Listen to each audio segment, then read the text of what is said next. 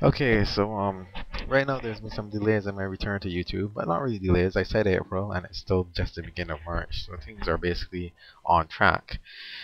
But um, yeah, right now you're looking at the wall. You can't really make it out, but uh, there's actually a red light on the left and a green light on the right, like Christmas lights. So together they make like this sort of orange glow, which is sort of cool. But yeah, I'm just experimenting in that case. Um, it's in a way waste of electricity. They use more light than two fluorescent lights, and the two fluorescent lights give a much brighter light. But I didn't really want a bright light. I wanted a dimmer light, a gentler light right now. Anyhow, I'm only recording this at like 4.3, 4.2 frames per second. And um, that's because I'm still using it with the old crappy webcam. I'm getting a new one, but um, it's going to cost about $150. That's Barbados money, which translates to about 75 US or about um 50 Canadian, I guess. So um that may not seem like a lot of money to you all, but um, in terms of the money I'm getting from direct work, things have been sort of slow. So um, I haven't been able to do that much work because I've been uh, busy with family issues and living quarters issues and um, my own actual sickness then. So I'm only, you could probably still hear a cold in my voice. I'm still resting up from that. So that's one of the reasons why I haven't really been playing anything. So I haven't even been recording videos. But I have a lot of videos already recorded that I just haven't transcoded and broken into pieces so that they could fit onto YouTube and stuff like that. Plus I want to go back and do voiceovers for some of them. And I'll need a mixer for that. A mixer is, I don't know how much. It depends on the brand and the quality. I don't necessarily need a professional mixer. But on the other hand, I want one which will work well.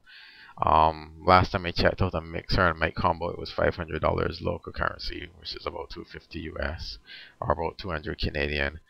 Um, so uh, they're cheaper products, but they're not necessarily worth the money. I mean, they may be so cheap that they fall apart or they have a lot of noise. If they have even the slightest bit of noise, then it doesn't make sense me getting them.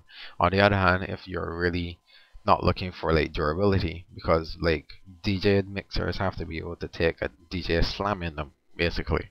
But if you're going to be in a studio, then you can basically have something that isn't as durable. You know, that's a little more not really flimsy, but maybe you don't really have to fortify it that much against like excessive force. Basically, I guess that's the basic idea behind it. And also, you don't need maybe necessarily a warranty if you're planning to upgrade in a year or two anyway. Um, the other thing is cash flow. In terms of like, okay, making videos for YouTube, that helps YouTube make money, but it doesn't help me make money. So I'm going to be starting my own website with my cousins and stuff. Um, so stay tuned. I'll announce it when it's up. And um, a lot of people like to start websites and say coming soon. I'm not going to do that. I'm going to put it up, get it to the point where it can make money, and then I'll announce it. Um, because I'm not trying to impress anybody. I don't want to show off my elite web making skills. I'm to have a very basic page. It's going to do what it plans to do. It's going to basically give you um, live videos or video clips you can download or stream. And to download will actually be cheaper than streaming. Um, which is sort of like the opposite of what people do nowadays, but that's because they're trying to control your habits. Downloading and streaming cost the same amount in terms of bandwidth. So it makes more sense for me to let you download a video clip and then you either upload it somewhere else and waste somebody else's bandwidth or you burn it on a DVD or whatever you want to do with it. You watch it over a thousand times offline. I don't really care how much you watch it. Once you pay for it, it's yours. That's my philosophy. You can mix it up, whatever. You know, I don't follow this copyright foolishness that once you made something, nobody else can do anything with it, or else the wrath of the law will descend upon them. To me, that's bullshit. Um, a lot of people like those type of rules and they like living in a world with strict authority because they know where they stand and stuff. I was tempted to go that way, but I didn't because um, it's not the best world to live in. That's the world like equilibrium before the rebellion. In other words, that's the world of equilibrium for most of the movie before the end of it where you assume that the resistance win, but you don't necessarily know that the resistance win because the stupid Kurt Wimmer or whoever he is didn't bother to make a sequel or write a book or anything. He's like, I said what I wanted to say, so screw you guys. I invented Gun Katas and only used them in one movie. I mean, yes, there was that second movie with that woman who was always on the camera and who really didn't do anything except wave her hands about. But um, that I don't count that as Gun Katas. To me, that's more like um, Tao, more like Tai Tao Chi or Tai Tao Kung Fu, something like that. Yeah, that's more like Tai Tao Kung Fu or Tai Tao movement or something like that. You could say Kung Fu though, because you use it as a fighting style or Tai Tao Gun Kata. That's what it'll be. Tai means the most intense form and Tao means flow. So I'm saying she had the most intense form of flow. She just flowed with everything that happened. Um, so yeah, Tai Tao Kung Fu is different from Tai Chi or Tai Chi Kung Fu because um, Tai Chi is about intensifying your personal energy and it really goes towards telekinesis and psychosomatic effects and stuff where you tap somebody or you transfer so much negative energy to them that you just reprogram their body on a intercellular level and it breaks down from within or that you can manipulate the, the water within their body to cause their bubbles to loosen or something you know in psalms 20 Psalm 69:23 talks about making people blind and their bowels lose, their lungs becoming weaker and weaker and stuff like that. So that's what Tai Chi is really about. It takes about 30 years of practicing Qigong before you can even start Tai Chi. So Tai Chi forms are not Tai Chi. Tai Chi forms are just movement forms. They're more towards a Kung Fu style, right? Um, so you can do like um, Tai Chi forms into Kung Fu very easily as compared to doing Tai Chi itself or Wing Qigong, because Qigong takes years for you to really get it. You may get it in one, if you're like childlike enough, but you have to basically unlearn a lot of bad habits.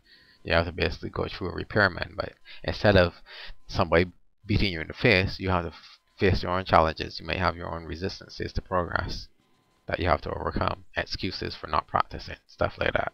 So right now I'm doing something called Qigong 24-7 where you basically sleep in the qigong position, you wake up and you do qigong, you walk in the qigong way, etc. So um, that's interesting. That's interesting. Anyhow, um, it's almost time because of YouTube's silly limit.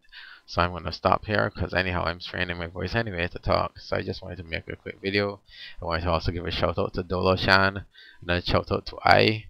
Um, thank you very much my Japanese um, sisters for helping me so much to understand a little bit more about your culture, language, and so on. I appreciate Dolo Chan's music. I miss I's dancing, and I hope you, I hope I comes back on YouTube when she can, or even better, comes on my site. That my site is online soon enough. And Dola-chan, I look forward to hearing more of your music, and I'm learning to play the piano. Um, well, I have it set up. I haven't actually um, physically played it yet since I set it up, but things have just been crazy. So um, hopefully we can do some stuff together, um, you know, in the future. So um, and that goes for all of my YouTube buddies and even people who don't know me. You know, I'm always welcome, open to collaboration. It's just time and energy have been limited. Time was, um, I, I was managing it well, but there was so much coming at me. Um, I taped some of it, videotaped some of it, so you'll see it soon. There's a lot of good things that came out of it, but I'll talk about those in another video too. Right now, I'm just going to basically take a rest and let this transcode, which may take another two hours or whatever, while I basically rest and stuff. Alright, well, have a good day, have a good year. This is the 6th of March that I'm doing this on at 4 o'clock in the morning, Saturday morning. This is how much I love you guys. Wake out of bed at like 2, 3 o'clock in the morning and try to do a video. I just had something to eat basically and then said I must give YouTube something. So there you go. Hope you appreciate it. Alright? So y'all stay safe and stay careful. Alright, bye. Blessings.